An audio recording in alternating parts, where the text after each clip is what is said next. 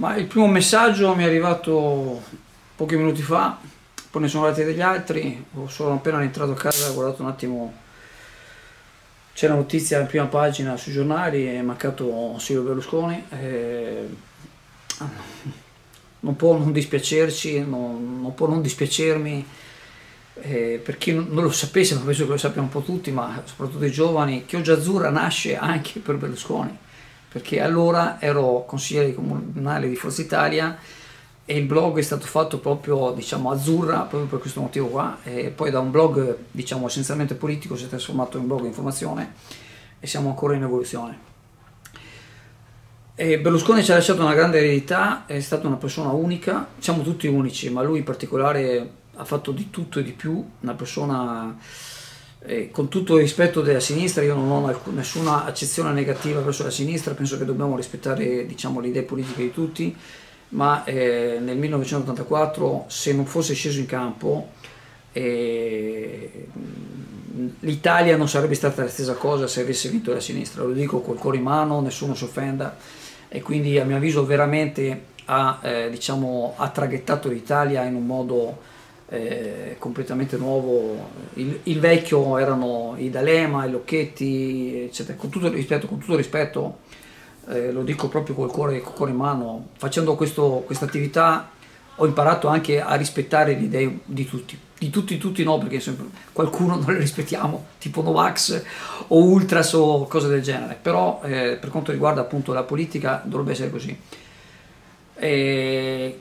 Certo, Berlusconi errori ne ha fatti tanti, chi non ne fa in politica poi è difficilissimo non farla, però vorrei ricordare solo alcuni passaggi. Ricordo benissimo quando è venuto Gheddafi in Italia e lui l'ha accolto in un certo modo e ricordo qualcuno che si indignava perché, Gheddafi, perché aveva accolto Gheddafi in quel modo. Abbiamo visto poi cosa è successo in Libia. La stessa guerra in Ucraina eh, con, eh, non è assolutamente per fare i filoputiani, ma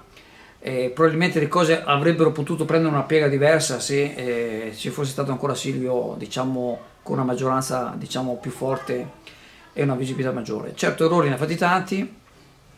ormai anche diciamo, l'età era avanti con l'età,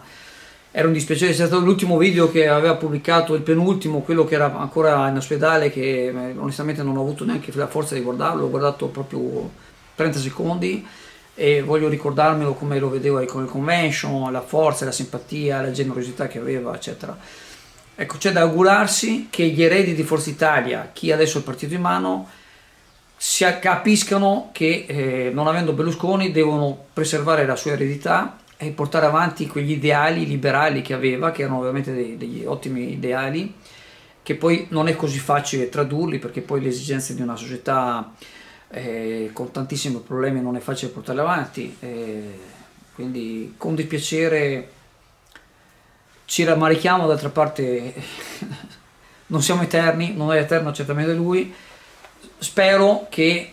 battute cattive come tempo addietro c'erano siano finite, perché insomma rispetto almeno della morte ci sia verso questo italiano che ha fatto veramente, a mio avviso, veramente tanto bene per tutti, per tutti quanti. Era sicuramente una persona generosa e, e ha cambiato veramente la storia del nostro paese in meglio, in meglio, che, che se ne dica in meglio. Io c'ero quella volta, era il 1984, ricordo benissimo tanti che dicevano un sacco di fregnacce, che dicevano ma no, un imprenditore non può mettersi in politica, non vincerà mai, ha travolto, ha vinto tranquillamente le elezioni, ha fatto un partito nuovo e c'è stata tutta una cosa eccezionale. Certo aveva le televisioni, rappresentare no, ma non era solo per quello, l'abbiamo votato quella volta tantissimi perché appunto era carismatico, una persona carismatica, una, una bellissima persona e niente, non c'è tanto altro da dire insomma.